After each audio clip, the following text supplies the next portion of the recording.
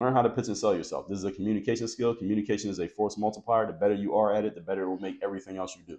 Number three, strategic partnerships lighten the load of you having to do all the work. Biggest challenge many entrepreneurs have is that you try to do everything on your own. Problem is you are not skilled enough. You not have enough time. You have not have enough talent to do everything by yourself. So when you're trying to do everything by yourself, you are failing by default. You need to start partnering with other people who can do things that you cannot do. And again, this does not cost money. It just costs a different way of thinking.